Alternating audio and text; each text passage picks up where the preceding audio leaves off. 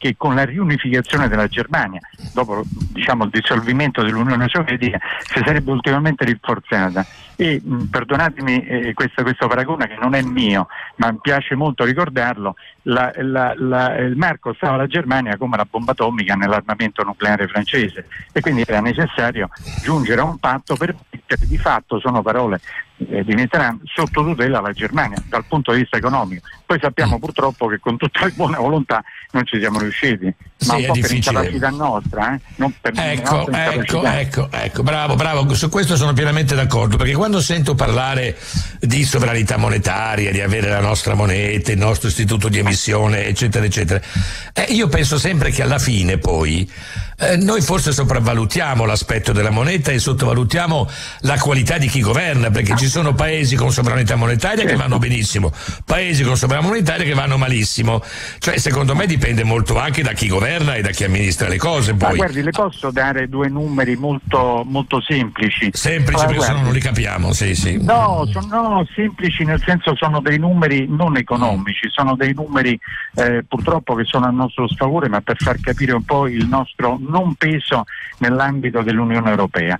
Allora, dal momento in cui proprio è caduto il muro di Berlino, eh, nel novembre dell'89, al momento in cui noi abbiamo avuto materialmente nelle nostre tasche l'euro, che è stato il primo di gennaio del 2002, in mm. Francia ci sono stati due presidenti, per l'appunto Mitterrand e Chirac.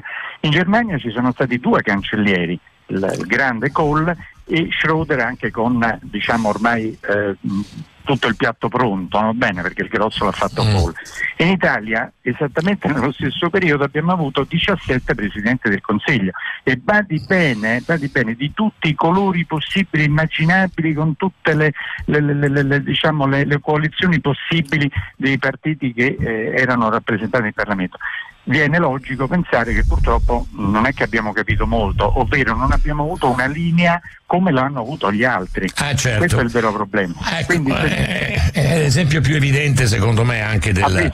Perché se uno dei, uno dei culti dei, dei sovranisti è quello di poter fare la svalutazione competitiva. No? Dico, la lira, adesso noi siamo bloccati dall'euro, però io ricordo bene, perché l'ho vissuto anche in parte, ho lavorato a lungo per la stampa, che era parte del gruppo Fiat, ricordo bene che la Fiat sì, sopravvisse per un po' col giochetto della svalutazione, Beh, eh, però poi alla fine...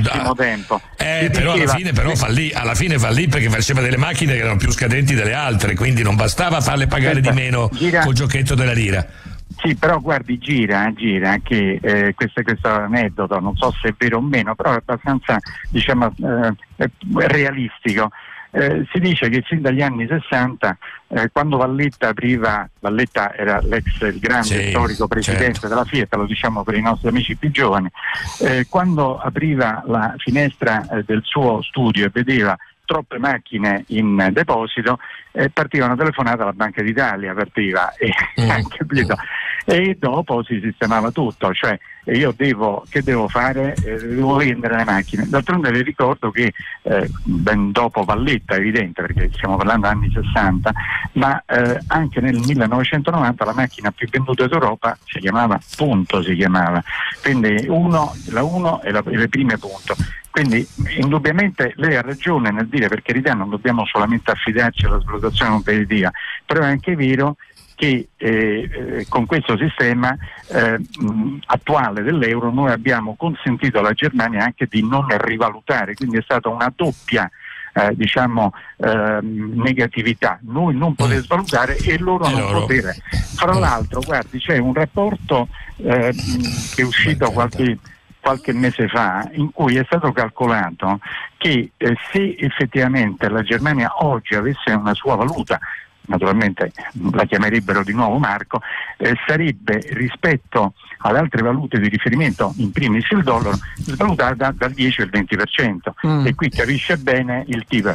Io, eh. io vorrei dire questo, ma perché non cerchiamo di attivare dei meccanismi all'interno della, eh, dell'euro per ah, poter fare ah. in modo che ci siano dei trasferimenti. D'altronde mi scusi, questo surplus immenso, superiore, tre volte superiore a quello della Cina, evidentemente ha origine proprio da questo problema che lo No, detto. certo. Senta, sì. professor Rinaldi, eh, arrivando a quest'anno all'attualità economica no, di questa manovra, lei giudica in positivo questa forzatura che sta facendo questo governo col portare il deficit al 2,4 esponendosi quindi a queste lettere della Commissione guardi, europea?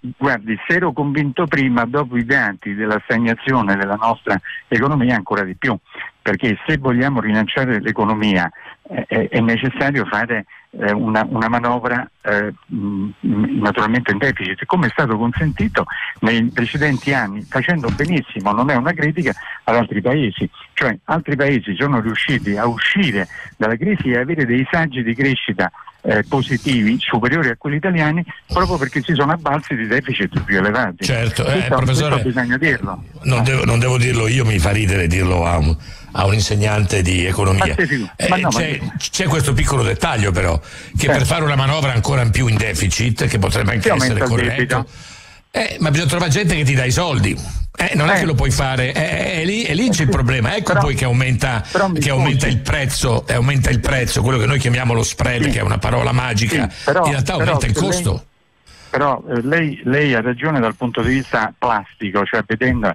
però se va a vedere tutte le aste, ma non solo le, le attuali, ma anche le precedenti, eh, ma prezzi sempre domanda, più alti. Ma prezzi no, sempre più alti, per forza, al 3,5% certo che li vende. Eh. Scusi, le chiedo scusa.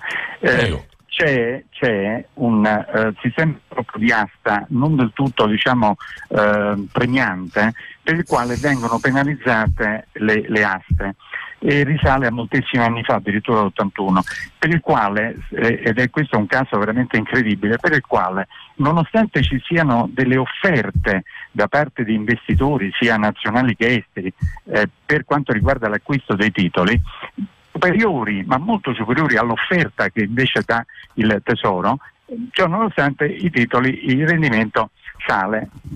Lo sa, cioè addirittura la cosiddetta cover ratio così nel gergo tecnico, è addirittura del 60-70% di più, cioè ci sono eh, richieste di acquisto 60-70% di più rispetto all'offerta del tesoro. Cioè, a, che tassi? a, a che tassi? A che tassi? Va bene, però io non vorrei andare, scusate eh, Zucconi no, e Rinaldo, troppo, troppo sul tecnico, sennò però è difficile da seguire. Senta, un'ultima domanda da parte mia, professor Rinaldi, Prego. che Prego. ha anche lavorato nel corso degli anni anche al servizio borsa della Consob, che è l'autorità eh. di vigilanza sulla, su Piazza Affari. Si parla di di lei di come, di come un, di un, possibile manca un presidente alla Kosovo in questo momento. Le hanno fatto un'offerta per fare il presidente? Guardi, guardi l'ho letto la prima volta sul Sole 24 Ore sì. e poi è stato riportato mm. da altri giornali, fra i quali anche Milano Finanza. Mm.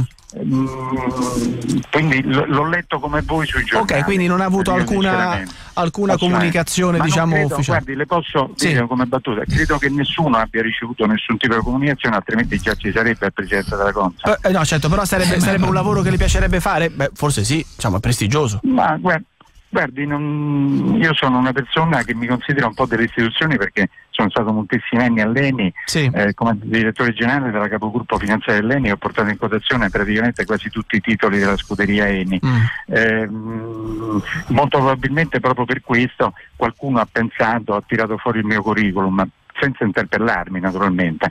Eh, quindi mi reputo una persona al servizio delle istituzioni. Se mi dicono di andare a fare la guardia al fusto di benzina, io la faccio. Ci va. A proposito di Eni, diciamo così. Va bene. Pro- Ultima domanda, Vittorio. Ultimiss- eh, infatti, infatti, infatti, infatti, Ultimissima domanda. Prego.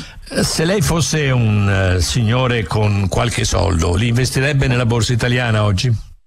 Ah beh, guardi, le dico sinceramente, lei tocca un tasto essendo un, eh, nato in borsa con i pantaloni corti perché eh, il fratello di mio padre era un commissionario di borsa e praticamente si può dire facevo sega a scuola, si può dire sì, si può dire, si può dire, diciamo si può dire facevo sega a scuola per andare alla borsa di Roma, si figuri un po'.